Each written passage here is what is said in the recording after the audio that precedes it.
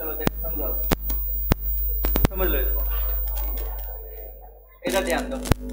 कल हम बताए हुए थे कि properties properties of living organism ठीक है? यानी कि लिविंग ऑर्गेनिज्म का क्या क्या प्रॉपर्टी होता है। मैंने इससे पहले एक बार ये बताया हुआ है कि जो उसके प्रॉपर्टी की बात करेंगे, यानी कि लिविंग ऑर्गेनिज्म सजीवों के गुण। सजीवों में कौन कौन से गुण? तो सजीवों के गुण, यानी कि उनमें कौन कौन से उसके पास कैरेक्टर पाए जाते हैं, उसके बारे में यहाँ पे पढ़ना है। तो सजीवों में होता है ग्रोथ यानी कि वृद्धि होती है। रिप्रोडक्शन यानी कि जनन होता है। वो बच्चे पैदा कर सकते हैं नंबर बढ़ा सकते हैं। तीसरा होता है मेटाबॉलिज्म यानी कि जो लिविंग होते हैं, उनके बॉडी में केमिकल रिएक्शन होता है। उसके बाद है सेल्यूलर ऑर्गेनाइजेशन यानी कि सेल्यूलर ऑर्गेनाइजेशन का मतलब क्या होता है कि जैसे सेल से बना टिश्यू टिश्यू से ऑर्गन ऑर्गन से ऑर्गन सिस्टम तो ये सिर्फ़ और सिर्फ़ लिविंग में ही होता है नॉन लिविंग में नहीं होता है। उसके बाद कॉन्सियसनेस यानी कि किसी रिएक्शन के, किसी रिएक्शन के प्रति वो अपनी प्रतिक्रिया दिखा सकता है। दैट इज़ कॉन्शियसनेस तो मैंने बताया हुआ था।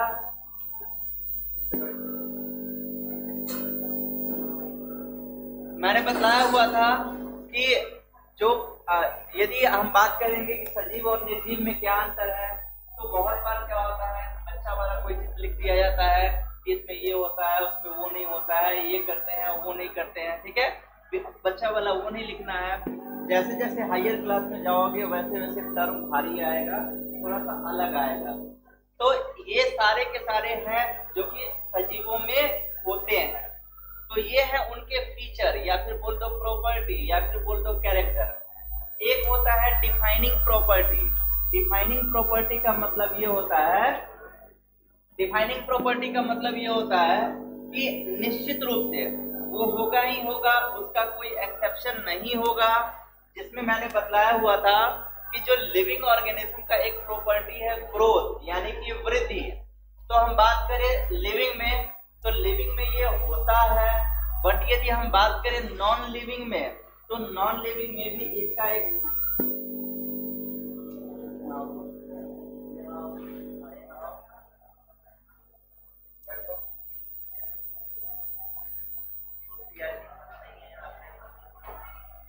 तो नॉन लिविंग में भी एक उसका एक एक्सेप्शन है माउंटेन पहाड़, जो कि है तो नॉन लिविंग लेकिन उसमें भी ग्रोथ होता है। इसलिए ग्रोथ क्या होगा? लिविंग ऑर्गेनिज्म का प्रॉपर्टी तो होगा, उसका कैरेक्टरिस्टिक्स तो होगा, उसका फीचर तो होगा, लेकिन उसका डिफाइनिंग प्रॉपर्टी नहीं होगा। उसके बाद रिप्रोडक्शन दूसरा आए थे रिप्रोडक्शन तो रिप्रोडक्शन में क्या होता है? कि रिप्रोडक्शन का भी एक्सेप्शन होता है। इसीलिए रिप्रोडक्शन भी क्या है? डिफाइनिंग प्रॉपर्टी नहीं है। जैसे कि मैंने वहाँ पे समझाया भी हुआ था कि रिप्रोडक्शन यदि हम बात करें तीन में, एक हम बात करें इनफर्टाइल ह्यूमन कपल जिसको बोलते हैं बांझ, ठीक है? तो वो जो बच्चे पैदा नहीं कर पाते हैं, जो बांझ जिनको बोला जाता है नॉर्मल लैंग्वेज में, जो मेल हो या फिर फीमेल हो, जो बच्चे पैदा नहीं कर पाते हैं, एक तो वो हो गए, दूसरे हो गए म्यूल यानी कि खच्चर, और तीसरे हो गए वर्कर भी। ये तीन ऐसे हैं जो कि कभी भी बच्चे पैदा नहीं कर पाते हैं ये बाँध होते हैं। तो ये क्या हुए? रिप्रोडक्शन का एक एक्सेप्शन हुए। और डिफाइनिंग फीचर क्या बोलता है? डिफाइनिंग फीचर का मतलब उसका कोई एक्सेप्शन नहीं होगा। तो रिप्रोडक्शन का एक्सेप्शन है। इसीलिए रिप्रोडक्शन प्रॉपर्टी तो है, लेकिन डिफाइनिंग प्रॉपर्टी नहीं है। तो देखो यहाँ पे लिख क्या रहा है। It is the production of progeny having features similar to those of. यानी कि रिप्रोडक्शन जो है, ये एक ऐसा बायोलॉजिकल ये एक ऐसा बायोलॉजिकल प्रोसेस है जिसमें प्रोजेनी का प्रोडक्शन होता है। यानी कि बच्चे, जो नए बच्चे हैं, जो नया जनरेशन है, नया जनरेशन आता है और वो अभी अपने पेरेंट के जैसे जैसे मान लो ह्यूमन है तो ह्यूमन ही, अब यदि मान लो कुत्ता है तो कुत्ता ही, उसे उसे फ़िल्म में ही होता है कि जो इंसान ने नाग नागिन को जन्म दिया है वो फ़िल्म में होता है। रियल लाइफ में जो इंसान है, इंसान का बच्चा इंसान है होगा, और बंदर का बच्चा बंदर है होगा। अभी मत बोलना पर वो बंदर जगह देखा, ये तो के मतलब इंसान के बच्चे नहीं है, ठीक है? तो रिप्रोडक्शन किसको बोलेंगे? रिप्रोडक्शन एक ऐसा बायोलॉजिकल प्रोसेस है, जिसके द्वारा कोई जीव अपने ही जैसे बच्चे को जन्म देता है, उसको क्या बोलते हैं? Reproduction organism reproduces sexually and asexually जब क्लास ट्वेल्थ में आओगे तो ये पढ़ाएँगे कि जो रिप्रोडक्शन जो होता है जीवों में, दो तरीके से होता है। जो। रिप्रोडक्शन होता है, वो दो तरीके से होता है। एक होता है सेक्सुअली और एक होता है एसेक्सुअली सेक्सुअली बोलते किसको है? नाम से ही यहाँ पे स्पष्ट होता है। सेक्सुअली किसको बोलेंगे? बिल्कुल यहाँ पे नाम से स्पष्ट हो जाएगा। सेक्सुअली यानी कि यहाँ पे वर्ड ही आ रहा है सेक्स अब यहाँ पे क्या होगा? सेक्स यानी कि मेल और फीमेल की रिक्वायरमेंट होगी। जब मेल और फीमेल होंगे तो मेल के अंदर का स्पर्म होगा और फीमेल के अंदर ओवम होगा। यानी कि सेक्सुअल रिप्रोडक्शन किसको बोलेंगे? रिप्रोडक्शन का वैसा टाइप या फिर रिप्रोडक्शन की वैसी प्रक्रिया, जिसके द्वारा कोई जीव अपने ही समान बच्चे को जन्म देता है, लेकिन जिसमें क्या होता है? जो गैमीट का फॉर्मेशन होता है, यानी कि युग्मक का निर्माण होता है, और युग्मक मिलता भी है, यानी कि गैमीट मिलता भी है, यानी कि मेल के अंदर स्पर्म बनेगा और फीमेल के अंदर ओवम बनेगा, और वो दोनों मिलेंगे भी। ऐसा जो प्रोसेस होगा रिप्रोडक्शन का, उसमें क्या उसको क्या बोलेंगे? सेक्सुअल रिप्रोडक्शन जो कि ह्यूमन में बात करें तो ह्यूमन में क्या होता है? ह्यूमन हो गए काउ हो गए, इस सब में क्या होता है? सेक्सुअल रिप्रोडक्शन दूसरी, ए सेक्सुअल रिप्रोडक्शन ए का मतलब नॉट और सेक्स यहाँ पे सेक्स नहीं हो रहा है। तो जब यहाँ पे सेक्स हो ही नहीं रहा है तो यहाँ पे मेल और फीमेल की ज़रूरत भी नहीं है। तो ये रिप्रोडक्शन का वैसा टाइप होता है, asexual reproduction asexual reproduction reproduction का वैसा टाइप होता है, जिसमें मेल और फीमेल की ज़रूरत नहीं होती है। तो ये किसमें होता है? जो छोटे छोटे जीव होते हैं, जैसे कि अमीबा सुने हो गए पैरामीशियम हाइड्रा सब में क्या होता है? ये ऐसे, ये एसेक्सुअल रिप्रोडक्शन होता है। ये क्लास ट्वेल्थ में पढ़ना है यहाँ पे काम का नहीं ठीक? यहाँ पे बस याद रखना कि रिप्रोडक्शन क्या होता है? रिप्रोडक्शन एक ऐसा बायोलॉजिकल प्रोसेस है जिसके द्वारा कोई जीव अपने ही समान बच्चे को जन्म देता है। ठीक? In unicell in unicellular organism growth and reproduction are same because they reproduces by cell division यदि हम बात करेंगे यूनिसेल्युलर ऑर्गेनिज्म यदि हम बात करें यूनिसेल्युलर ऑर्गेनिज्म में तो यूनिसेल्युलर ऑर्गेनिज्म में ग्रोथ और रिप्रोडक्शन दोनों सेम दोनों को दोनों सेम ही होता है। क्यों? देखो, यदि हम बात करें अपने में, यदि हम बात करें ह्यूमन का एक एग्ज़ाम्पल लेते हैं, ठीक है? यदि हम मान लो कि हम ह्यूमन का एग्ज़ाम्पल लेते हैं तो ह्यूमन क्या है? ह्यूमन है यूकैरियोटिक सेल या फिर बोल दो मल्टी सेलुलर ऑर्गेनिज्म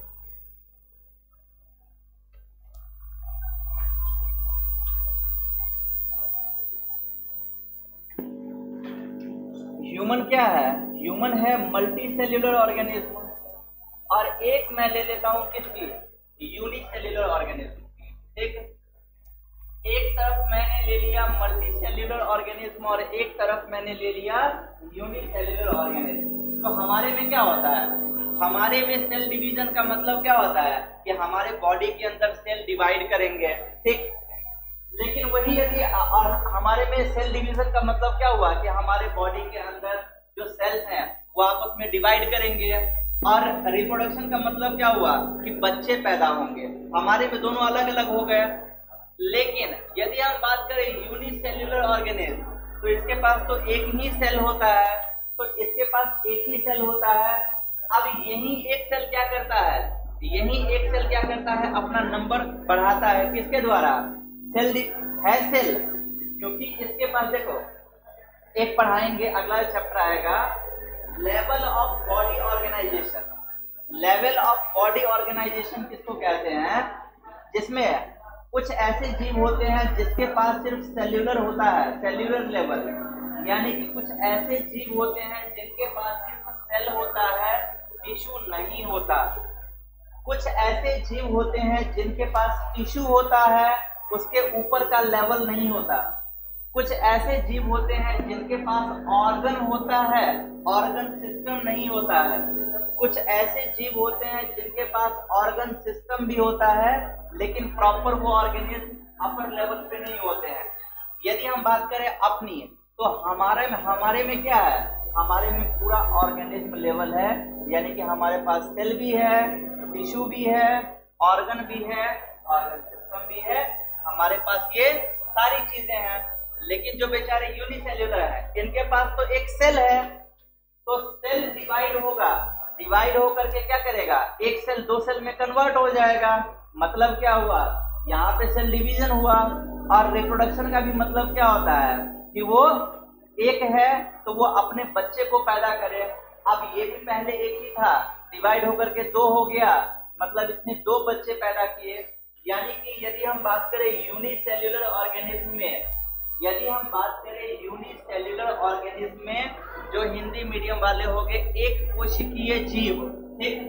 तो यदि हम बात करें यूनिसेल्युलर ऑर्गेनिज्म में तो यूनिसेल्युलर ऑर्गेनिज्म में cell division sorry cell division cell growth और सेल रिप्रोडक्शन सबका मतलब क्या होता है?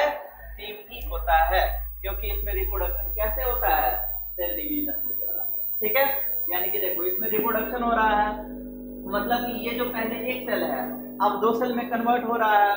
मतलब ये अपने बच्चे को जन्म दे रहा है। मतलब रिप्रोडक्शन हो रहा है। तो रिप्रोडक्शन हो कैसे रहा है? सेल डिवीज़न के द्वारा, क्योंकि ये यूनिसेल्युलर ऑर्गेनिज्म है, ठीक? अब देखो, चूँकि मैंने क्या बतलाया कि जो रिप्रोडक्शन होता है रिप्रोडक्शन भी एक डिफाइनिंग फीचर नहीं है। लिविंग ऑर्गेनिज्म का एक फीचर है, एक कैरेक्टर है कि जो लिविंग ऑर्गेनिज्म होते हैं, उनमें रिप्रोडक्शन होता है। जो लिविंग ऑर्गेनिज्म होते हैं, उनमें रिप्रोडक्शन होता है। लेकिन जो रिप्रोडक्शन के लिए हम बात, लेकिन उसका कुछ एक्सेप्शन भी है। जैसे कि देखो many organism do not reproduce कुछ ऐसे भी ऑर्गेनिज्म होते हैं जो कि रिप्रोड्यूस नहीं करते हैं। जैसे कि हो गए म्यूल खच्चर। गधा का गधा का प्रजाति होता है ये म्यूल खच्चर। दूसरा वर्कर बी सुने होंगे कि दो टाइप की मधुमक्खी होती है एक होती है वर्कर मधुमक्खी कार्यरत मधुमक्खी और एक होती है रानी मधुमक्खी जो बी होती है, जो काम करने वाली मधुमक्खी होती है, वो कभी भी बच्चे पैदा नहीं कर सकती है। जो रानी मधुमक्खी होती है, वो बच्चे पैदा कर सकती है। तो कौन कौन से ऐसे जीव हैं जो बच्चे पैदा नहीं कर सकते? एक हो गए म्यूल, खच्चर, दूसरा वर्कर भी काम करने वाली मधुमक्खी, और तीसरे इनफर्टाइल ह्यूमन कपल बहुत, या तो फ़िल्मों में भी सुने होंगे या फिर अपने आसपास भी सुने होंगे, बहुत ऐसी फीमेल होती है, जिसको बच्चे नहीं होते हैं, यानी कि उनमें बांझपन की प्रॉब्लम होती है। तो ये तीन क्या, ये तीन एग्ज़ाम्पल हो गया। उसका जीव तो है, सजीव भी है, जीव तो है ही, लेकिन ये बच्चे पैदा नहीं कर पाते हैं। तो जब बच्चे पैदा नहीं कर पाएँगे मतलब कि ये उसके एक्सेप्शन यानी कि अपवाद में आ जाएँगे। और जब ये उसके अपवाद में आ जाएँगे, इसका मतलब क्या होगा कि रिप्रोडक्शन भी रिप्रोडक्शन भी लिविंग ऑर्गेनिज्म का प्रॉपर्टी तो होगा, लेकिन डिफाइनिंग प्रॉपर्टी नहीं होगा। क्लियर वही यहाँ पे बोल रहा है many organism do not reproduce mule worker bee infertile human couple hence reproduction is not a perfect defining property of living organism बहुत से जीव हैं जो कि रिप्रोड्यूस नहीं करते हैं जैसे कि म्यूल वर्कर बी और इनफर्टाइल ह्यूमन कपल इसीलिए हम क्या बोलेंगे कि रिप्रोडक्शन लिविंग ऑर्गेनिज्म का एक डिफाइनिंग फीचर नहीं है। ठीक? तीसरा आएँगे मेटाबॉलिज्म हमारे बॉडी में हमारे बॉडी में आ, हमारे बॉडी को मैंने बतलाया हुआ था पहले भी कि हमारे पूरे के पूरे बॉडी को कंट्रोल कौन करता है? हमारा ब्रेन सबसे लास्ट में जो सबसे लास्ट में जिसकी मृत्यु होती है जब किसी की डेथ होती है तो सबसे लास्ट में उसका डेड होता है उसका ब्रेन क्यों ब्रेन डेड हो, होता है? जैसे एक वही वही बतलाता हूँ जैसे ब्रेन जब हम पढ़ाएँगे जब न्यूरल कंट्रोल एंड कोऑर्डिनेशन पढ़ाएँगे तो वहाँ पे एक चीज़ पढ़ाएँगे वो क्या? जो हमारा ब्रेन होता है ना माइंड होता है, ये दो प्रकार के होते हैं। एक होता है कॉन्शियस माइंड एक होता है सब कॉन्शियस माइंड यदि हम बात करेंगे सब कॉन्शियस माइंड की तो पूरा दिन हम जो भी काम करते हैं, वो डेटा जैसे होता है ना कंप्यूटर में डेटा स्टोर होता है, वैसे ही हम जो भी काम कर रहे हैं, वो सारा डेटा कहाँ पे स्टोर होता है? हमारे सब कॉन्शियस माइंड में। जब हम सो जाते हैं, जब हम सो जाते हैं तो जो सब कॉन्शियस माइंड होता है, वो अपना डेटा दे देता है कॉन्शियस माइंड को, ठीक? फिर जब हम उठते हैं तो हमारा सब तो सब माइंड काम करेगा, जो पूरा काम करेगा, रात को जब हम सो जाएँगे तो वो डेटा किसको दे देगा? कॉन्शियस माइंड को। जो सपने आते हैं ना, जो सपने आते हैं, या फिर भूत वगैरह किसी को नज़र आता है, दिखता है, वो एक्चुअल में किसका गेम है? ब्रेन का गेम है। यदि ब्रेन का गेम नहीं होता तो भूत रात में ही क्यों दिखते हैं, दिन में क्यों नहीं ये दिखता? उसी के कारण। और जनरली जनरली जनरली हमको सपने कब आते हैं? मिड नाइट में, बारह बजे रात के आसपास में। कभी भूतों का भी सुने होगे तो सुनोगे कि भूत दिखाई दिया, दस ग्यारह बजे नहीं दिखाई देता है। बारह साढ़े बारह बजे दिखाई देता है। क्यों बारह साढ़े बारह बजे दिखाई देता है? क्योंकि यहाँ पे भूत प्रेत नहीं है, यहाँ पे है साइंस क्योंकि यदि कोई भी मान लो सोएगा, कोई सोता है गाँव घर में आठ बजे, नौ बजे, मान लो कोई सोया दस बजे, कोई सोया ग्यारह बजे। लेट से कोई कितना भी लेट सोएगा, साढ़े ग्यारह, बारह बजे तक सो ही जाएगा। तो उसके बाद हमारा सब कॉन्शियस माइंड और कॉन्शियस माइंड का गेम होता है। इसीलिए हमको रात को 12 बजे ही भूत नज़र आता है। उसका रीजन ये है। उससे पहले या फिर घोड़ा में भूत नज़र नहीं आता, ठीक है? ये चीज़ याद रखिए।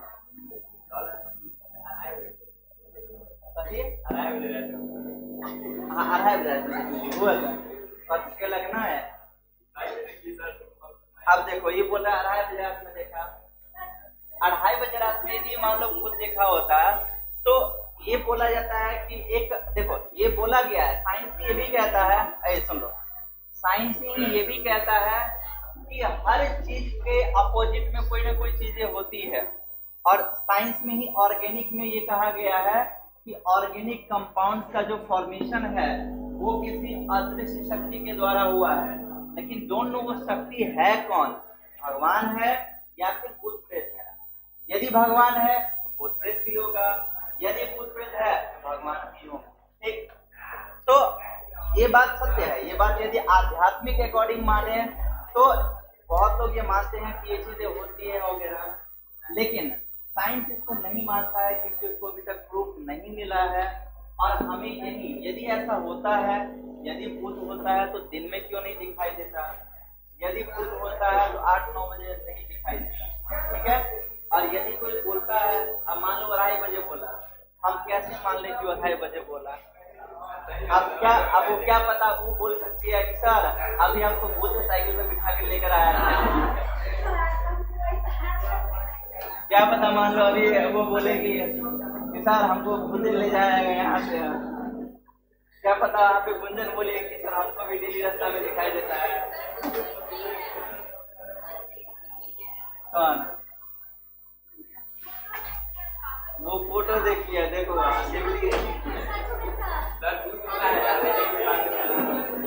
तो भूत होता है नेगेटिव एनर्जी तो भूत तुमको किया कुछ क्यों नहीं है, बताओ।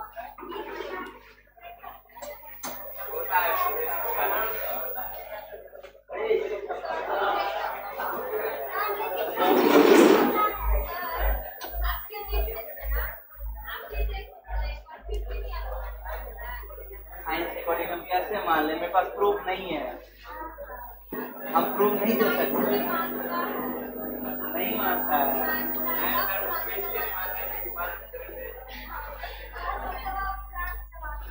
हाँ पुराने जमाने वाले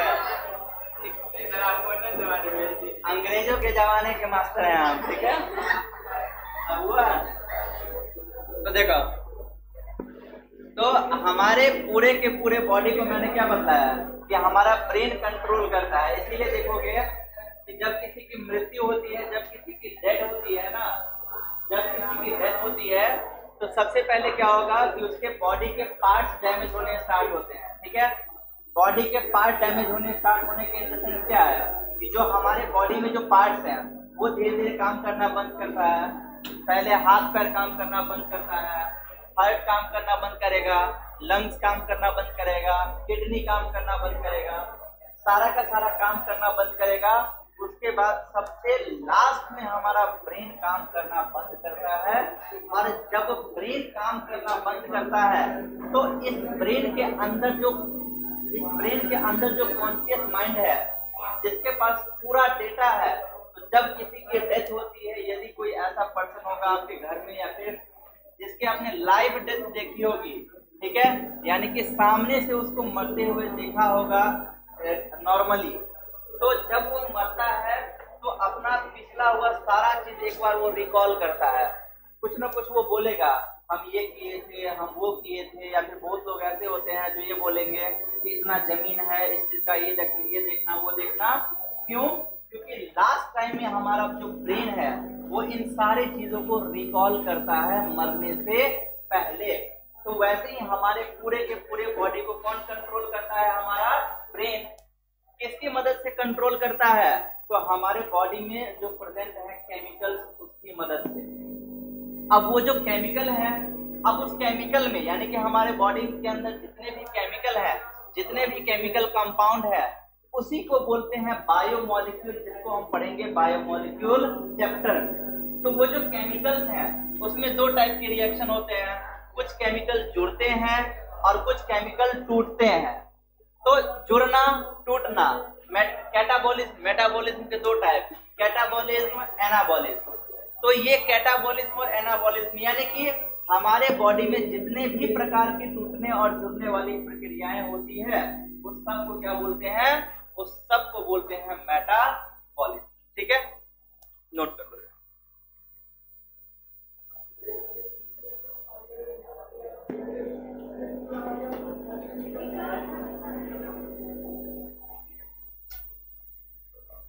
नहीं, वो हो गया।